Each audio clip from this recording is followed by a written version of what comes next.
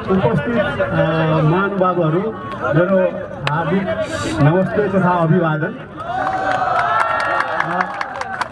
र म यहाँ यहाँहरूको बिचमा आफूलाई पाउँदा गौरवान्वित महसुस गरिरहेको छु। पहिला त के छ भनेदेखि यो बाढी पहिरोले गर्दाखेरि असीजनाभन्दा बेसी व्यक्तिहरूको चाहिँ मृत्यु भयो। त्यसको लागि हामी मर्माहत छौँ र चाहिँ श्रद्धाञ्जली दिन्छौँ र जो चाहिँ विस्थापित भएर बस्नुभएको छ उहाँहरूलाई चाहिँ चाँडै नै राहतको कार्य चाहिँ राहत पुगोस् राज्यले त्यता हेरोस् भन्ने हामी कामना गर्दछौँ र चाहिँ राज्यलाई अनुरोध पनि गर्दछौँ। र हाम्रो लडाइँ चाहिँ त धेरै वर्षदेखि नै लडाइँ हो र मुख्यतः स्वास्थ्य र शिक्षा शिक्षा क्षेत्रको सुधारको लागि हामी लडिरहेका थियौँ ल लडिरहेको पनि छौँ। र यो चाहिँ के हुन्छ भनेदेखि शिक्षा गुणस्तरीय शिक्षा होस् र नेपाली सबै नेपाली चाहे त्यो महोत्तरीको होस् चाहे हुम्लाको होस् चाहे स्याङ्जाको होस् सबै नेपालीहरूले चाहिँ सबै नेपालीहरूको चाहिँ गुणस्तरीय स्वास्थ्य सेवामा चाहिँ समान पहुँच होस् र सबै विद्यार्थीहरूको चाहिँ गुणस्तरीय नि शुल्क सस्तो र सुलभ शिक्षामा समान पहुँच होस् पैसा बाधक नबनोस्। र यो उनीहरूको वास्तवमा भनेदेखि संविधानले दिएको नैसर्गिक अधिकार हो र त्यसैको प्राप्तिको लागि हामी अहिलेसम्म लडिरहेका हौँ।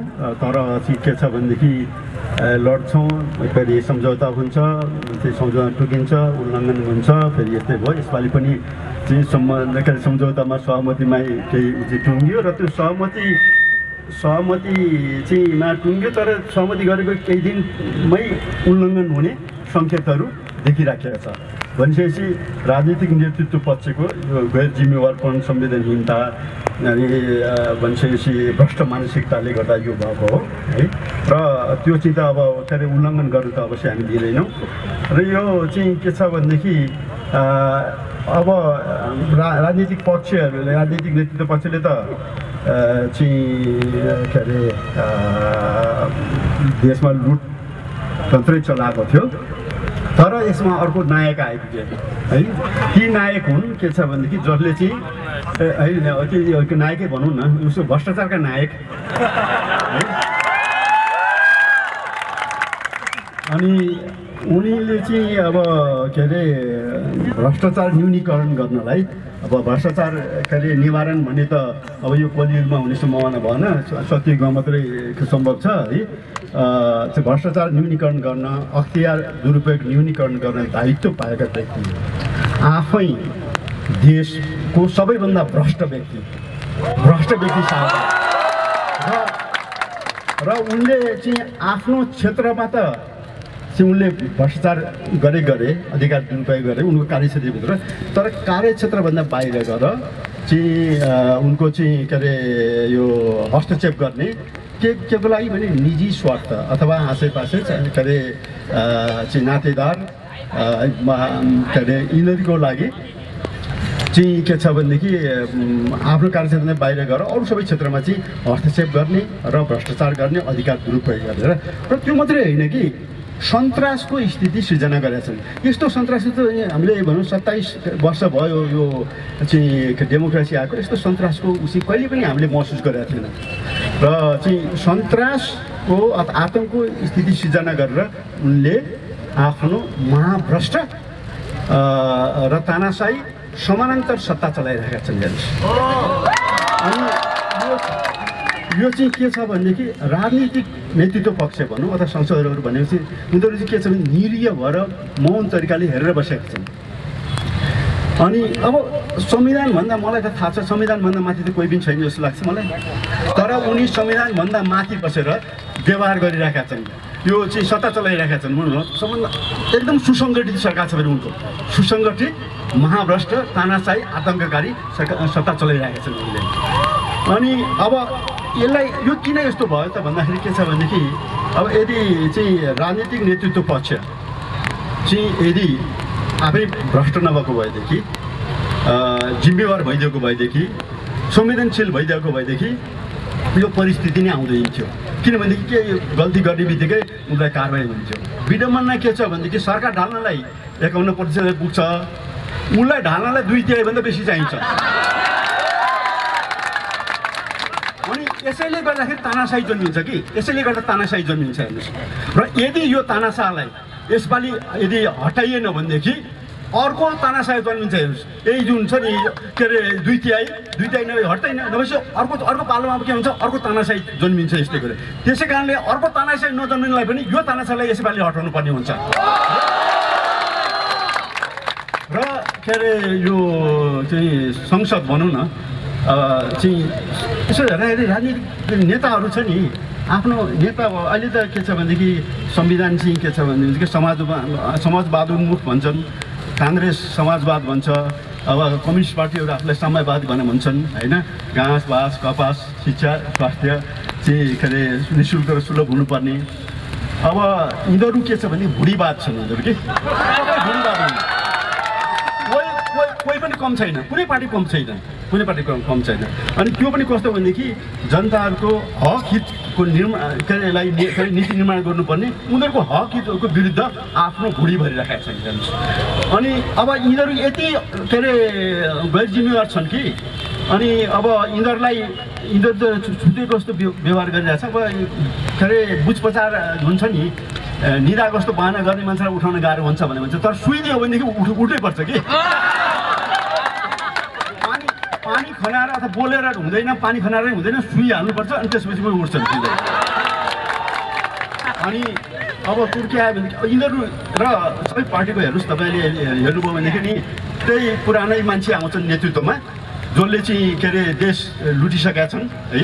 तिनै नै नयाँ नेतृत्वमा आउँछन्। त्यसो हेर्दाखेरि केही केही नयाँ परिवर्तन केही पनि छैन। अब नयाँ जेनेरेसनले चाहिँ के छ नेतृत्व लिनुपर्ने हुन्छ र उनीहरूले आफ्नो नेतृत्व छ भन्ने कुरो देखाइसकेका छन्। देखाइसकेका छन् पनि अनि अब चाहिँ के छ भनेदेखि यो सांसदहरू सांसदहरू चाहिँ अब उनीहरूले आफूलाई भन्छ लोकतन्त्रको रक्षक है सो यदि लोकतन्त्रको रक्षक हो भनेदेखि लोकमानतन्त्रको अन्त गर तिमी नत्र तिमीले त्यो कुर्सीमा बस्ने तिमी तिम्रो नैतिकता छैन तिमी तिमी राजीनामा गर अर्को योग्य योग्य व्यक्ति आउँछ र त्यसरी लोकमानतन्त्र अन्त गर्छ। अनि र यी चाहिँ सांसदहरू नि सांसदहरू अब सबै सांसदहरू त ऊ छैनन्। कति चाहिँ डराएका होलान् कति बोल्न नचाहेका होलान् आफ्नो ठाउँमा छ। तर साहस गर्नु पर्यो। के अरे ने- नेपालीहरू सबै लोकतन्त्रको पक्षमा छन् नेपालीहरू। नेपालीहरूले हेरिरहेका छन् संसदलाई हेरिरहेका छन्। अब संसद चाहिँ लोकतन्त्रका सिपाही हुन् कि लोकतन्त्रका सिपाही हुन्? त्यो डिसिजन गर्नु पर्यो। यदि लोकतन्त्रका सिपाही हुन् भनेदेखि हाम्रो लोकमानतन्त्रको अन्त्य गर्नुपर्छ। कहिले गर्ने? अहिले गर्ने हो। अहिले गर्ने हो। र अर्को कुरो के छ? यदि हामीले यदि हामीले यही भ्रष्टाचार के अरे दण्डहीनता अराजकता अपराध मफिया तन्त्र चाहिँ नि यसरी नै निरन्तरता दिन दियौँ भनेदेखि हाम्रो चाहिँ यतिकै फेल्ड स्टेट भइसकेको छ। हाम्रो देशको अस्तित्व पनि रहँदैन हेर्नुहोस्। अनि हामीले जुन छ समृद्ध नेपालको जुन सपना कोरेका छौँ त्यो त कहिले के अरे चाहिँ फुलफिल हुन सक्दैन।